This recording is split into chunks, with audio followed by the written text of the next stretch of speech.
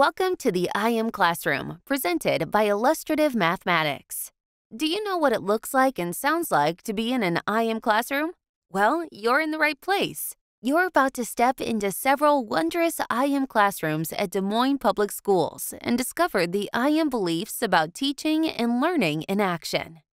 As you engage in this immersive experience, look for the hexagons, which are cues to guide you for specific interactions that illustrate these beliefs in the classroom.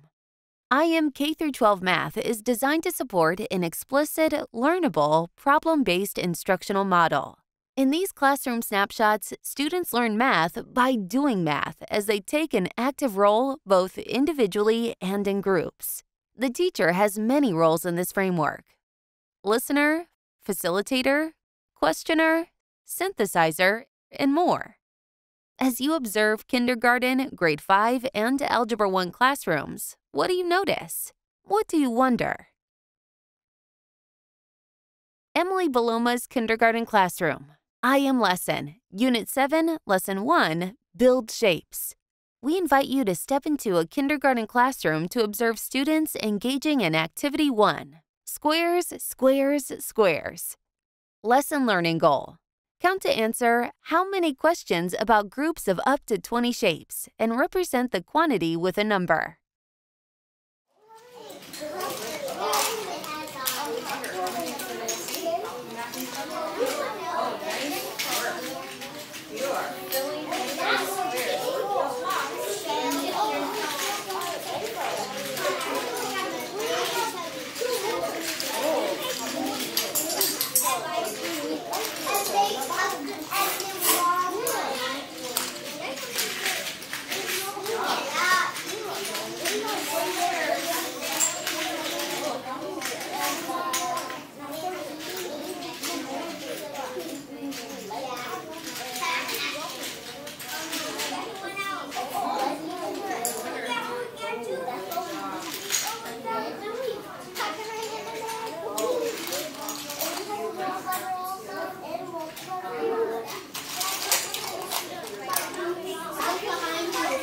If you can hear my voice, touch your head.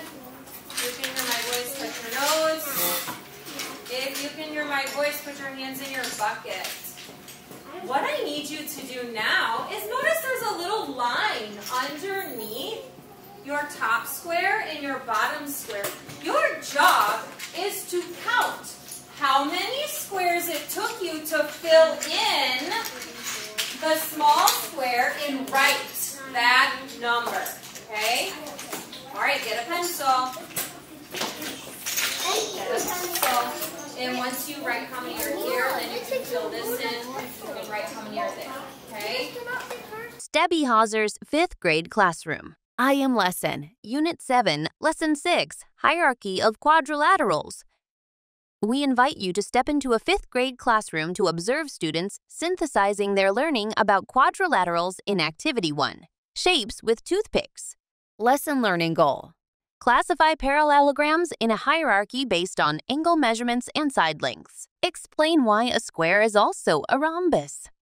Okay, so the first one you made was a Square. square. Does that square have two sets of parallelograms? Yes. Or parallel lines? Yes. Yes. Okay. What was the next shape? What did you do to the square?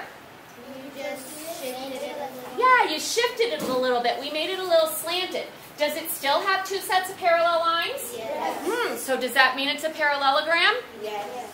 Yeah. I hear yeses. Does anybody say no? No.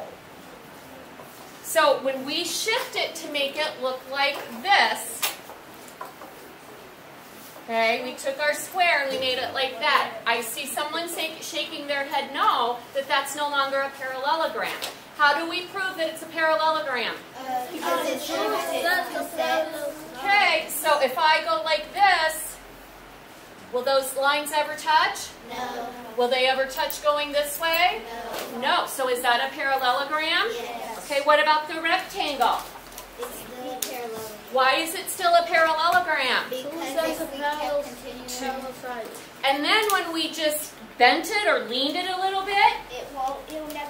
It still is never going to cross. So are all- of them parallelograms? Yes. Yes. Okay, so let's move on. Okay. Now, here's my next question. Which of the shapes that you built have four equal sides? The first set that you built or the second set? Which one of those had, had equal sides? So what does that, when I say four, no, be careful. Let's, I want to make sure you understand the definition.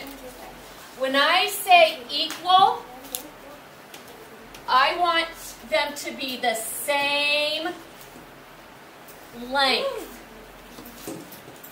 So which of the shapes that you made had four sides that were all the same length? Turn and talk. Set one or set two?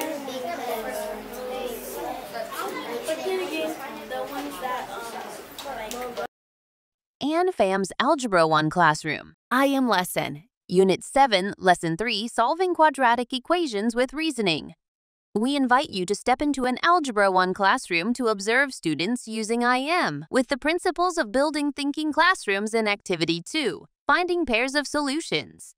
Lesson Learning Goal Find the solutions to simple quadratic equations and justify, orally, the reasoning that leads to the solutions.